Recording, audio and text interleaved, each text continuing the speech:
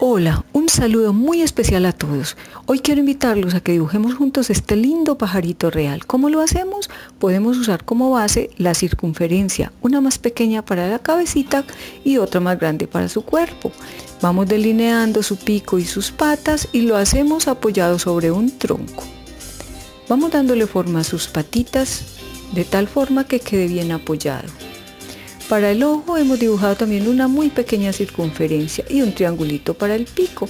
Luego le dimos forma a todo su cuerpo, la forma adecuada según la posición que tiene este pajarito. Aplicamos una base muy clara con el lápiz, un tono gris clarito y sobre ese tono vamos aplicando otros tonos más oscuros, logrando así una buena representación de su plumaje.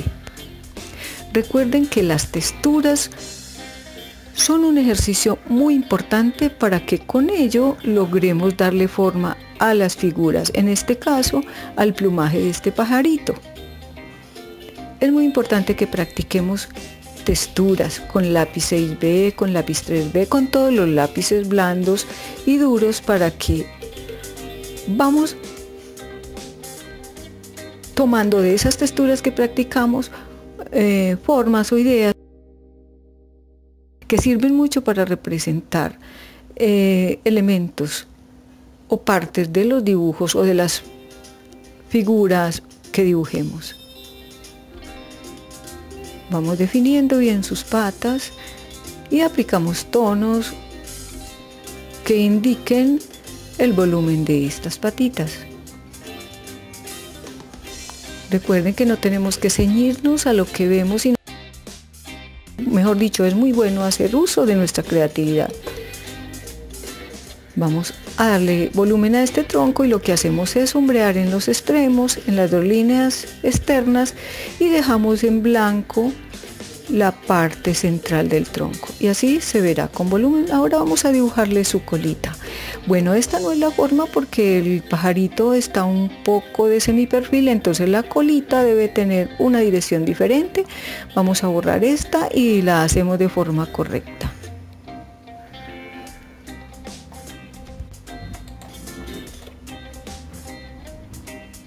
Bueno, podemos ensayar varias formas de pero vamos a dejarla más bien hacia este lado, que es la posición correcta que debe presentar la cola del pajarito.